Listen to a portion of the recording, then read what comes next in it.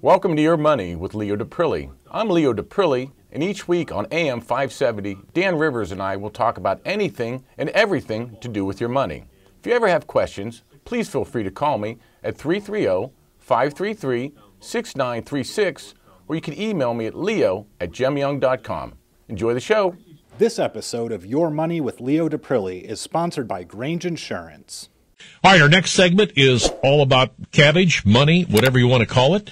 And um, Leo Daprile, he runs a family business that does business with individuals and families that need comprehensive risk management for their wealth and assets. And their thought is they believe the clients want professional advice at a fair value. And they deliver that by leveraging their reputation of professionalism, integrity, teamwork, and to get it done right first. That's what they try to do. We believe in making a difference in our clients' lives. You will find them at Stars Center Drive in Canfield, and we'll give you their information on how you can reach them. But uh, let's say hi to Leo here this morning and see how Mr. Leo has been. How are you doing, sir? Good, Dan. Good morning to you. Beautiful day out there, isn't it? Yeah. I'm just thinking about that question. How you doing? What if you would have said, you know, Dan, uh, I'm down and out. I can't really, uh, I can't, I can't see my way clear to do this show. But uh, that's not Leo, right? Leo says, I am ready to go. Nope. That's right. Started out early today, getting ready for the show. I love my Tuesday mornings. Well, I'm glad to have you along. I, we're going to talk a little bit about um, retirement, and uh, folks, I'll relate a little bit this and get uh, Leo's reaction here.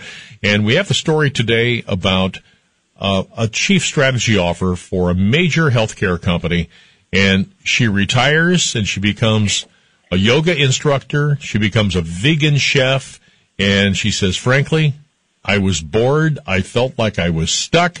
I was looking to get back into the flow of trying all kinds of things. I took random classes, but that didn't shift my life. Do you hear stories like this a lot, Leo?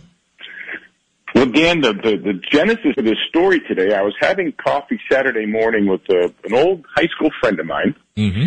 and we were commiserating about some of our current friends. And uh, they're in their later 50s, and, and it's a particularly interesting story where both of them are getting tired of their careers – uh, just because not that, they're good at their careers, but they've just been doing it for so long, they're looking for a change. But both feel a little stuck because they've never really prepared for the next career. They, and, and quite frankly, none of us ever think about that next career. So it got me thinking that instead of the retirement conversation being something we traditionally have once people get into their 60s, maybe we st- should start having conversations a little earlier in life and start talking about the tools people will need to take that next step in their life. That way they have maybe four or five years to teach themselves these, a new profession or what's called in, in this article, like your next generation or, or career number three. Yep. You've heard me talk in the past about disengaging from your current profession and not using the word retirement. And that just stems from retirement typically means the definition to most people is I'm just done working altogether. But the reality is most people still want to contribute. They want to have a quality of life. And, and what I'm finding and what really got me thinking this Saturday was, well, maybe we need to start having conversations with our clients in the 50s about how do we give you the tools to move to that next stage of your life uh, when you're ready to do that. You know, most people can't relate to this because most people are thinking if I had the opportunity to be home today, I certainly wouldn't be doing what I was doing. But I know some stories out there where people have changed um, careers. Basically, uh, one story I heard recently: a person became a truck driver late in life, and isn't that amazing? Because there's probably plenty of truck drivers out there saying, "I'm done with that," but uh, to someone else, that's kind of fun, right? You're you're listening to the listen to the Dan Rivers show, or you're listening to music, or whatever you're doing, and you're being paid to do it. Uh, people are meant to work. I think we've come up with that idea, but uh, you're trying. I think what you try to do is give them that option, right? I'm actually going to start as a company, start taking this a little deeper, and I'm going to start uh, doing some research on additional adult education classes, strategies, because I think the, even the college landscape's beginning to change. One of the reasons this article was interesting is there's several universities around the country that are beginning to put in what they're calling adult education classes where it's almost a continuum of your college education for those that went to college where there's certain classes you can take and it's not a pass fail scenario like you would traditionally in college. You don't have that pressure of having to get straight A's in a class, but it's more about beginning to educate you in other areas that will interest you so that if you want to take on another career later in life, now you have more of the tools to do it. So I'm actually thinking this might be something worthwhile to start having conversations with clients in their 50s instead of waiting till they're in their 60s and giving them the time and then showing them where the resources might be for them to begin to prepare for that next stage. Yeah. Have you thought about the, the Canfield uh, training center out there for students, the adult education? Is that a good place for people to start? Are you going to have a, a relationship yeah. with them?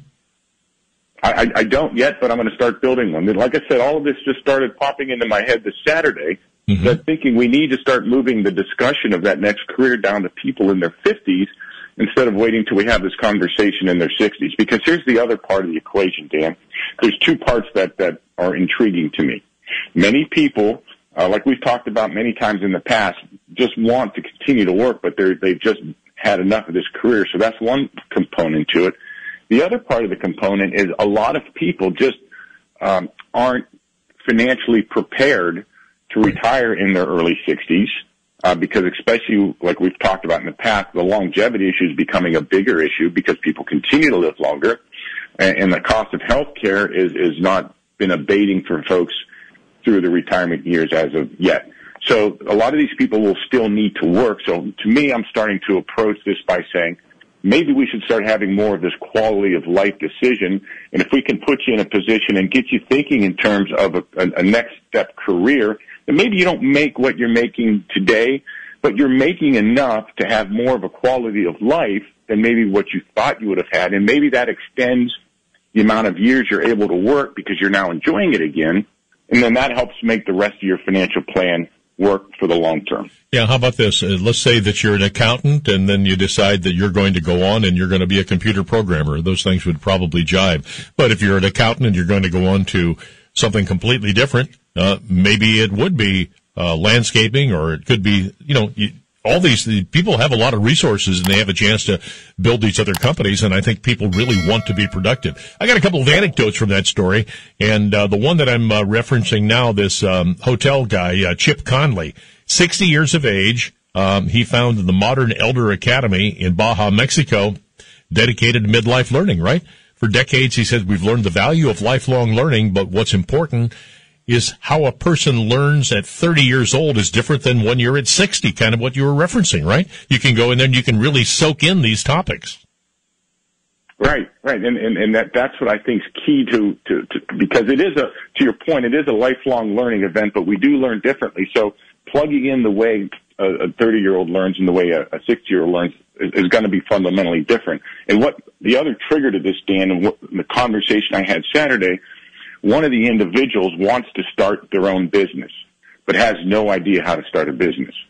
Um, so maybe that would be someone where you talk to the university and saying, is there entrepreneur classes or even MCCTC, which you referenced mm-hmm. at Canfield, to help folks just begin the process of what it takes to be in your own business and get these people thinking.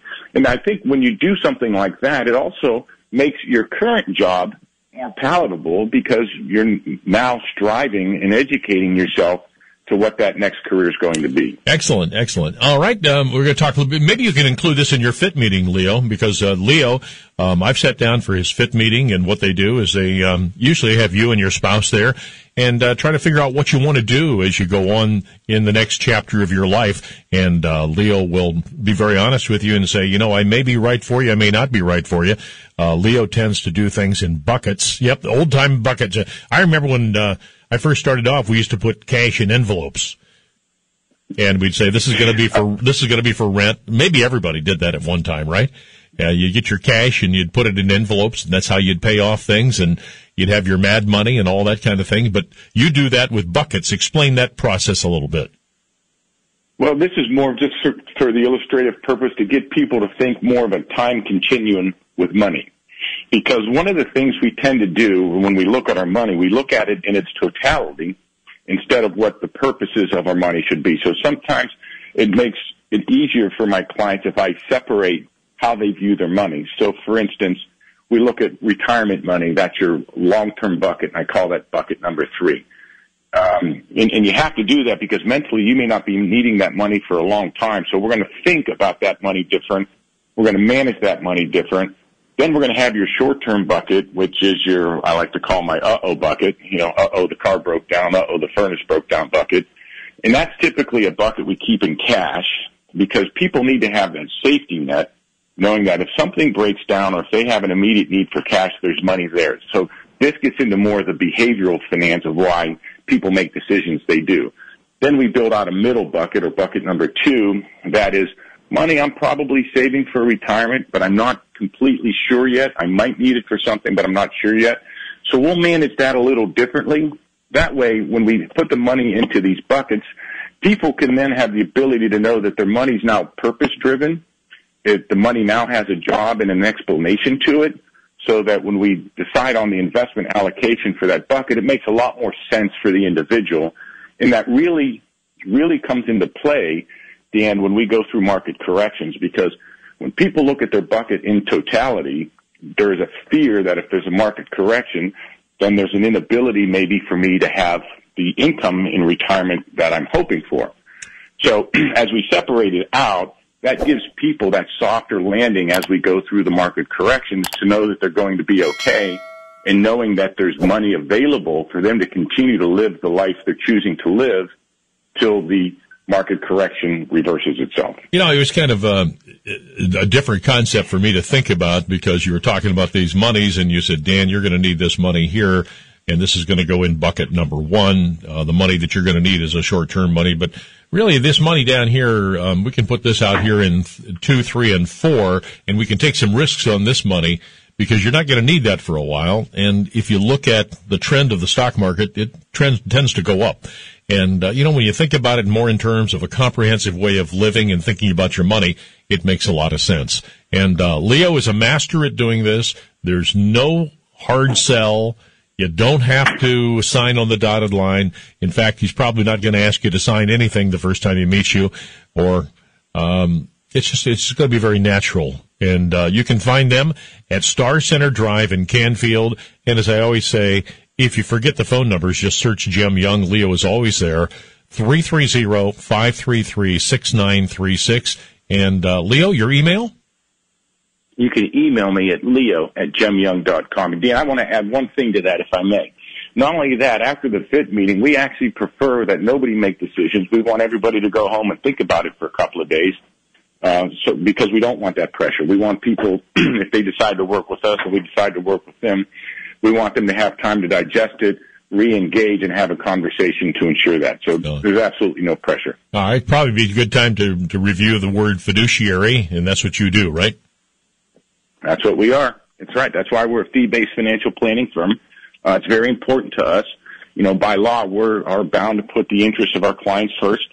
Uh, we get audited to that standard, uh, which I'm happy to say we've always had very clean audits. we, we pride ourselves on that, and that's important to us because you have to know that the person working for you um, is taking your best interest at heart all the time. Yep, and it'll all be disclosed in a document that you'll get. You'll see what they charge and uh, you'll say, okay, that makes sense. You got to make your, you got to make some money too, because there's really no free services out there. It's usually buried, and what they'll do is give it up to you, give it very, very nice, and put it out there.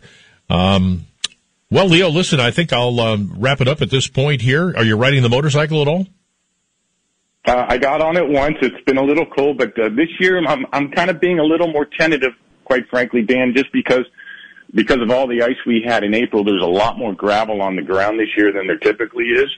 So it's not just you worry about sliding on gravel, but when you have that much gravel, your bike's kicking up that gravel and you're really chipping up these nice motorcycles. So I'm just trying to be a little more patient before I get on it. But I did get new golf clubs and I can tell you I slice these new golf clubs just as well as my old ones. You know where we'll have to go? We'll have to go out to uh, one of our new clients at Waypoint and uh, try the simulator out. Uh, it's going to be nice weather for doing that. So maybe you and I can get together at the simulator and uh, we can have a an adult beverage and hit some uh, hit some golf balls. I would love that, Dan. All right, I'll see you next Tuesday.